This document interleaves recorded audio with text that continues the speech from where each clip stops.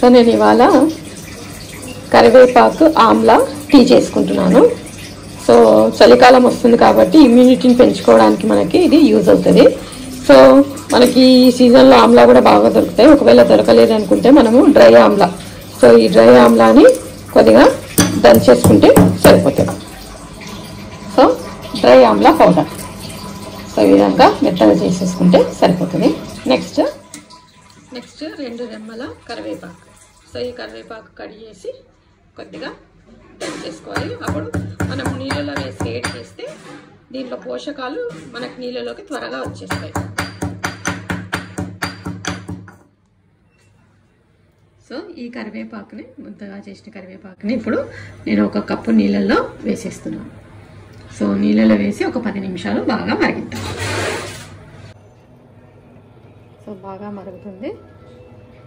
So ఇంక ఇప్పుడు మనం దీన్ని దించేసి ఫిల్టర్ చేసుకుందాం.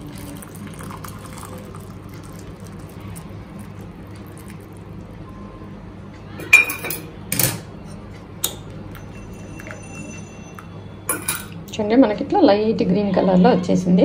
సో ఇంత వేడిగా ఉన్నప్పుడు మనం ఆమ్లా పౌడర్ వేయొద్దు. కొద్దిగా చల్లగా అయిన తర్వాత ఆమ్లా పౌడర్ వేద్దాం. ఎందుకంటే విటమిన్ సి అనేది మనకి ఎక్కువగా ఉండాలి కాబట్టి కొద్దిగా గోరువెచ్చగా అయినప్పుడు మనం దాంట్లో వేసుకుందాం.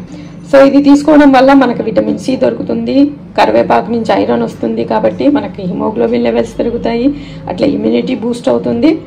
నెక్స్ట్ కరివేపాకు మన జుట్టు ఆరోగ్యానికి కూడా చాలా మంచిది కాబట్టి హెయిర్ ఫాల్ ఉన్న వాళ్ళు కూడా ఈ టీని రెగ్యులర్గా తీసుకుంటే చాలా మంచి ఎఫెక్ట్స్ ఉంటాయి.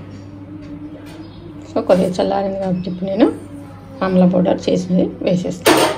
సో కొద్దిగా కలిపేసేసి వస్తాయి. అలాగే దీంట్లో ఎటువంటి షుగర్ కానీ హనీ అట్లాంటిది వేసుకోవట్లేదు నేను.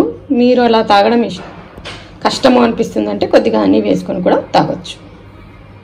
So enjoy drinking healthy drinks